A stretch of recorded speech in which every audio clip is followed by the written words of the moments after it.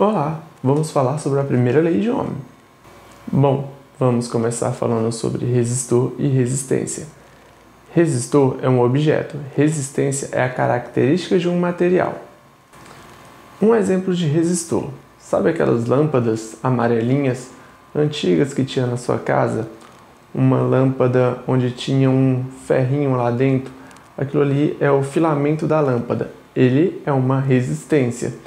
Bom, e aquele filamento vai causar uma resistência à passagem dos elétrons, fazendo com que ele aqueça e brilhe. E qual é a resistência de um resistor? Bom, e ela é dada pela seguinte equação, que é R, que é igual a U dividido por I, onde R é a resistência representada pela letra Ohm, onde U é a DDP, a diferença de potencial, representada pela letra V, de volt, e a corrente elétrica, representada por A, de ampere. Também vou estar deixando aqui a imagem desses triângulos para encontrar a voltagem, que é U é igual a I vezes R, e para encontrar a corrente, que é I é igual a U dividido por R, e para encontrar a resistência. Agora eu vou estar mostrando para vocês como fazer a leitura das cores de um desses resistores. Bom, aqui temos o código de cores dos resistores. Nesse primeiro resistor, a gente pode observar que a primeira cor que tem nele é verde, e aqui na tabela de cores, o verde vale 5. A segunda cor do, do resistor é azul, que vale 6. E a terceira cor, a terceira cor, ela é o fator multiplicador, que aqui é amarelo.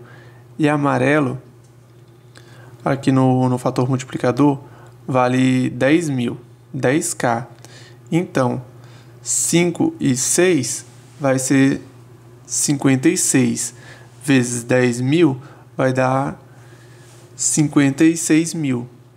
Então, esse resistor, ele, o primeiro resistor, ele tem 56 mil ohms. E o fator de tolerância dele, que é a última tabela aqui, como a cor é prateado, ele tem uma tolerância de 10%. 10% para menos ou 10% para mais, que essa é uma faixa de erro dele, que ele pode ter uma resistência maior ou menor. Bom, agora vamos verificar um pequeno circuito na prática e como esses resistores se comportam. Eu vou começar ligando o multímetro. Coloco ele aqui na escala de 20, em corrente contínua, e vou medir os terminais da minha bateria que é a minha fonte de energia.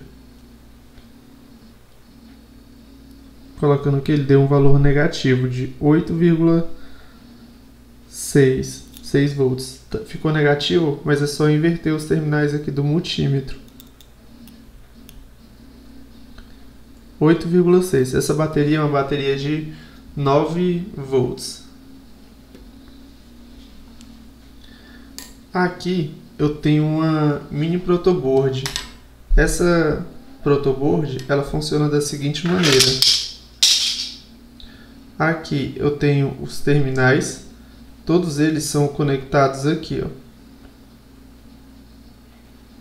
Nessa seguinte linha aqui, todos esses terminais aqui são conectados. Esses aqui são individuais. Então todos eles na horizontal aqui são ligados por dentro. Como aqui eu já fiz uma ligação, algumas ligações. Olha aqui, eu tenho uns resistores e alguns LEDs para poder fazer uma demonstração. Bom, com o multímetro já configurado no lugar para medir a resistência, eu vou medir aqui a resistência desse, desse resistor.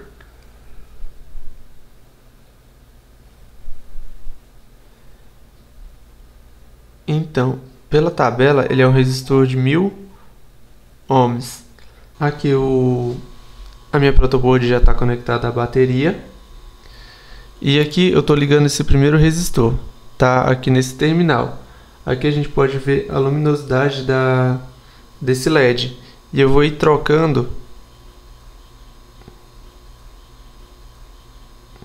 para a gente poder ver o quanto a intensidade do LED vai diminuindo de acordo com que eu mudo as resistências. Aqui foi ficando mais forte. e para cá, como a resistência aumentou, a, o brilho do LED diminuiu.